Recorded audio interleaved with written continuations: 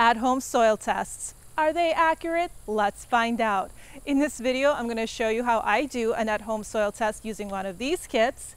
And later we're gonna compare the results and accuracy next to a lab test. So let's get started. Hi, I'm Christina with Forever Food Forest, a channel where I explore ways of growing food without the use of herbicides, pesticides, or commercial fertilizers. And instead, I rely on natural gardening and permaculture gardening techniques to grow food that's good for the garden and good for the planet. So let's get started. A forest is not complete without trees. Right here I have an avocado, a fig, and some blueberries. These are ready to go in the ground. But before I plant them, I'm gonna do a soil test to determine the best site for them and whether I need to add any amendments or change the pH, which I'm pretty sure for these blueberries, I will need to. Blueberries require a soil pH of about 4.0 to 5.5. It's very acidic, and if the pH is too alkaline, they are not able to take up magnesium and iron and the iron deficiency shows up and looks like yellow leaves that uh, lack the chlorophyll because magnesium helps make chlorophyll. A soil test is like a doctor's visit for your garden.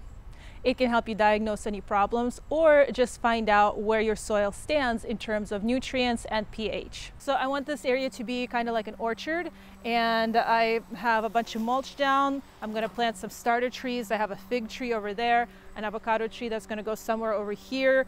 But before I do any of that, I'm gonna do a soil test and to get a good soil sample, I'm going to just scrape the mulch and then dig down about 18 inches uh, and collect the sample from 15 different areas. And the reason that I want to do that is because I want to get an average of this whole area. This is known as a composite sample, and it's a lot more cost effective than doing a test on each spot individually. So instead of doing 15 different tests, I take 15 samples, combine them into one, and take a small sample out of that for testing. My test is only as good as my sample. So I make sure to extract an even amount of soil while moving my trowel along the side and then I put that in a bucket, then take all those samples, mix them together and let the soil dry out. So right here I have my soil samples and now I'm just gonna prepare the soil test to be sent off to the lab. And that's about half a pint. Just seal these up get a box and ship them off to get tested. So while we wait for the lab results, let's do the at-home soil test. I'm gonna mix my soil, one part soil with five parts purified water.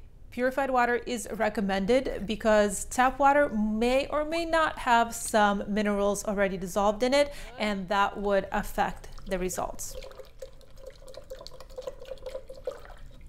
Oh yeah, this one's chunky.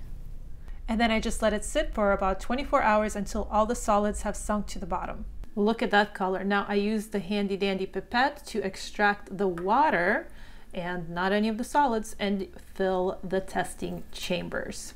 I want to fill both sides of the testing chamber because the water, as you can see, has a tint and if the other chamber is left blank, then that tint could skew the test results. So in order to be very scientific and accurate, we're going to fill both chambers fully and then I'm going to add the reactor pills. This at-home kit tests for the major macronutrients, potassium, nitrogen, and phosphorus, as well as the pH. Now, do I first take the red pill or the blue pill?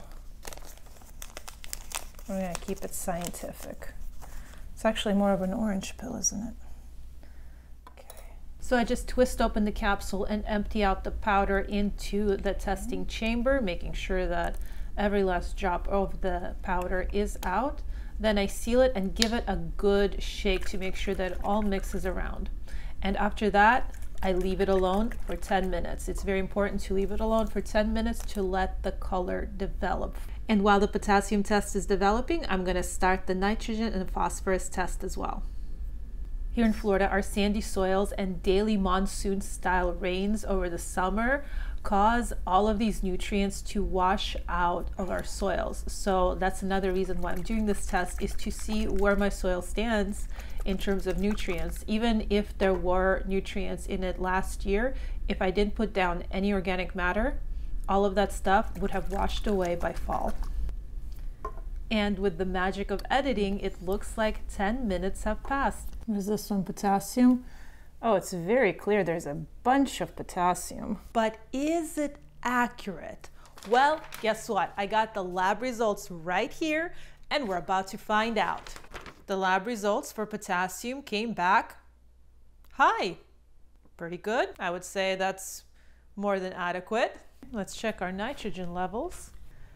It looks adequate at best, but let's see what the lab says. The lab says we do not test soil for nitrogen as there's no meaningful soil test for predicting nitrogen availability. Well, there you go. The phosphorus test took a little bit longer to develop, so I went outside in order to get a good reading. And when you're trying to get a reading, it's very important that your test is not backlit. You want it to be frontlit and preferably with a bright background. That makes it much easier to read.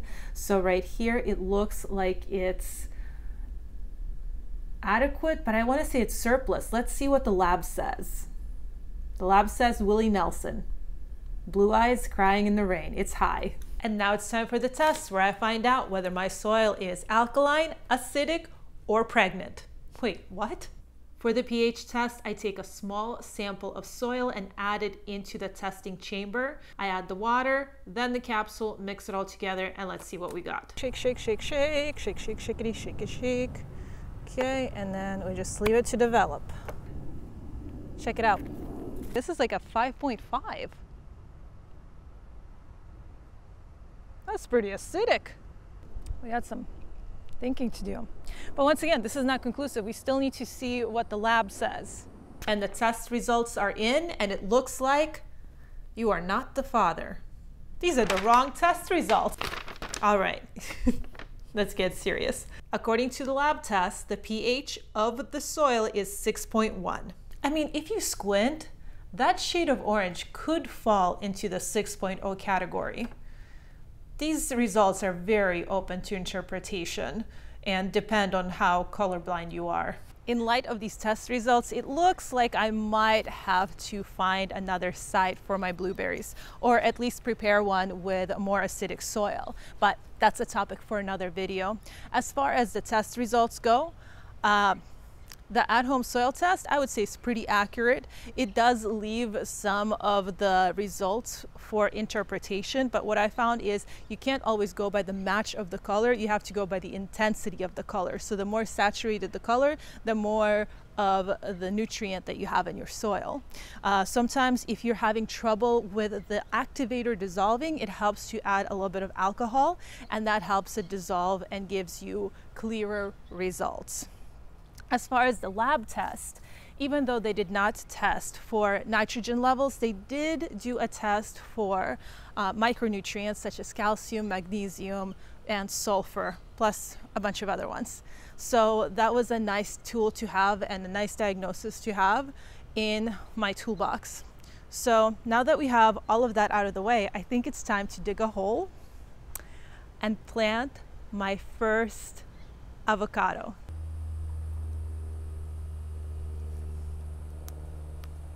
Hey, buddy. What you doing?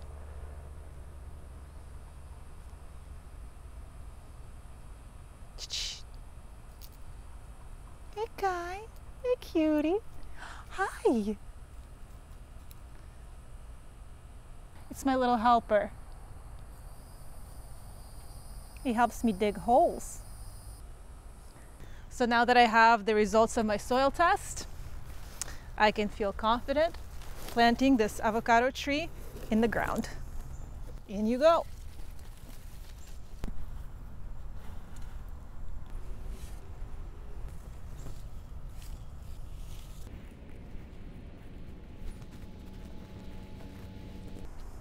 And there it is. It's so much smaller now that it's in the ground. Well, thanks for watching. Hopefully this was informative and until next time, bye-bye. You're quite skilled, Rakakumi.